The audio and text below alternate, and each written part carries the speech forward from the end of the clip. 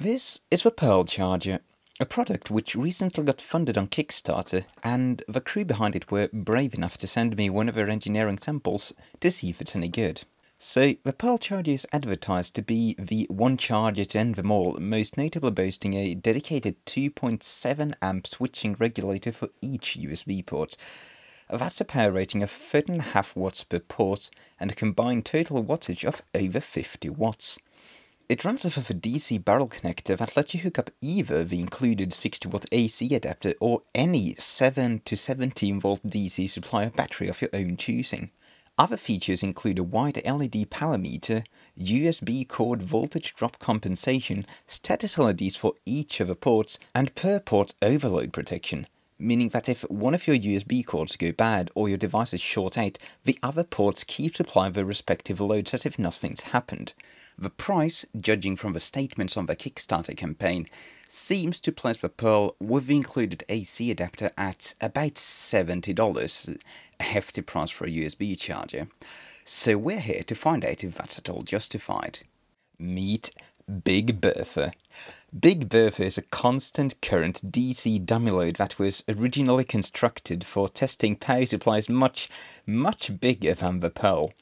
She features four independent channels capable of dissipating 150 watts each, four wire voltage measurement, three very big fans, and as of a few days ago, a USB input board.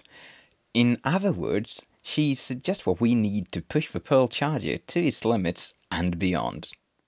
So I started testing by hooking the Pirl up and uh, tweaking Bertha's four channels to draw exactly as much power as the Pirl would deliver without cutting out, uh, 2780 milliamps per channel to be precise, and letting it cook overnight to see if it'll explode. Uh, it didn't, uh, but it did overload the included 60 watt AC adapter by about 10%, and the case reached a finger burning temperature of 80 degrees C on the bottom side, which was facing the table, and well over 50 on the top. Uh, this was not much of a surprise, as the Pirl is primarily advertised as a charger and not a power supply, and uh, temperatures are much more reasonable when the charger is loaded down uh, at a more reasonable current of 2 amps or so. This was a torture test, and the Pirl passed by virtue of uh, just not exploding into a fiery mess. During this phase, I naturally ended up testing the overload protection as well, and uh, it works very well.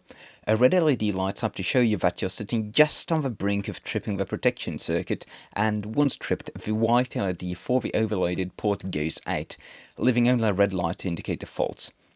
A very intuitive system. I didn't mind it at all. The watt meter on the Pirl might seem a bit gimmicky to some, but it's a feature I really appreciate as a technician. Uh, being able to quickly tell how much power is being delivered is really useful, although I'm a bit disappointed that the watt meter reports only the total power put out across all four channels. The button only toggles between the three brightness levels.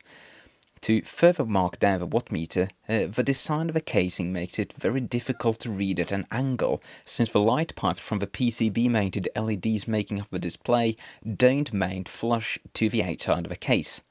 Uh, reading the watt meter from an angle, uh, while possible, is uh, not something you're able to do at a glance. Uh, this is, however, easily remedied by just sticking a piece of white tape over the display or by filling it with uh, hot glue or something. A more serious issue arose when I ditched the included AC adapter for a variable power supply in order to test the charger's behavior at different input voltages. While I'm happy to report that the charger will work just fine down to the advertised input voltage of about 7 volts, uh, below which the voltage will just drop scaling with input, it has no overcurrent protection on the input. So, since the Pirl is capable of drawing almost 70 watts from its power supply when all four outputs are fully loaded down, it'll draw 10 amps if you load it down fully at the minimum supply voltage of 7 volts. Uh, this is considerably more than the 7 amps that the DC barrel jack is rated to handle, and uh, more than one would intuitively expect the Pirl to draw. As a consequence of this, there's a real risk of a dangerous situation occurring if the Pirl is used to power heavy loads and something causes the input voltage to drop. Uh, such a scenario could be an overly long wire used to power the charger in a vehicle or a big RV or solar battery that's accidentally been run down without the user noticing. Still, I'm nitpicking, uh, as such a situation can only occur if all four ports of the charger are fully loaded down continuously, which is an extremely rare use case since, well, what device is going to draw over 2.7 amps. For any normal charging application, a high load like that will never be maintained for long enough to cause the DC barrel jack or its wiring to overheat. Uh, I'm just pointing out that flaw because, well, it's my job to poke holes in nice things. So, having survived my torture testing, I decided to put the Pirl up against two competitors uh, the ubiquitous uh, 3-port IKEA charger that'll deliver up to 3.4 amps across all its ports, as well as a no-name piece of trash hockey puck that's uh, got too many ports for its own good. During these tests, the Pirl was powered from a lead power supply so that we'd be actually testing the performance of the Pirl charger itself and not the included AC adapter. So, right off the bat, the Pirl has both of its competitors beat, boasting significantly lower noise on the output voltage. Uh, the same goes when we perform a load transient test. Going from no load to full load in an instant, the Pirl Mailer raises the output voltage a smidgen, whereas the other two chargers put out some much less controlled waveforms, as they try to keep up with the sudden change in load. Uh, bonus points do go out to the Pirl for the voltage drop compensation. Uh, by raising the voltage slightly at higher loads, more power can be delivered to the connected device. Uh, while the 0.15 volt increase isn't going to buy you much, it's still a very welcome feature that uh, all chargers should have. Transitioning from full load to no load uh, reveals a significant voltage spike coming out of a Pirl, but this is not a problem since you only ever see this kind of load transient when disconnecting the charging lead from your device, and it doesn't affect the other ports. The other chargers again perform considerably worse, and uh, their noise can be seen across all of their ports. In summary, performance-wise, uh, the Pirl is uh, simply the best, hands down, uh, although it is a bit cheeky to compare a DC-DC converter to a couple of mains powered supplies.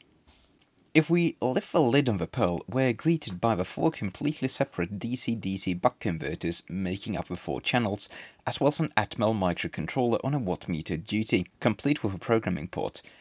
Sadly, however, I've been informed that the microcontroller has no ability to affect the DC-DC converters in any way. Pirl are citing reliability concerns as a driving factor in this design decision. Overvoltage protection is provided by a TVSS diode straight across the input and reverse polarity protection is provided by a MOSFET a much neater solution than the usual reverse diode you see in this kind of device. Uh, very functional and efficient, although the complete lack of an input fuse is definitely a markdown. You better have a fuse installed on your input lead if you're messing about with DIY power supplies, unless you fancy blowing a trace when things go wrong. Noteworthy is that the PCB is glued down to the bottom of the case, uh, which seems to be necessary for cooling judging from the very high temperatures we saw on that side of the case. So if you take the board out for some reason, you probably want to make sure that it's glued back down with something uh, capable of conducting heat reasonably well. So, is the Pirl Charger worth the premium it demands? Well, it really depends on whether or not you have a use for its unique features. I can definitely see the Pirl as an excellent alternative to dodgy car chargers, and its ability to run off of such a wide range of input voltages is definitely going to buy it some cred with the RC crowd. In my case, it's going to be living in my camera bag uh, together with a bunch of adapters to hook it up to whatever's available. Uh, the Pirl is definitely not a replacement for your standard issue compact phone charger, and uh, really I can't see that much consumer appeal in it. It's too expensive and too bulky for your average smartphone Joe. As a professional or specialty product though, I think the Pirl has both the performance and the build quality to tick quite a few boxes. After all, it survived a night with Big Bertha. So, that's about it for Pirl Charger. As always, make sure you enjoy yourself.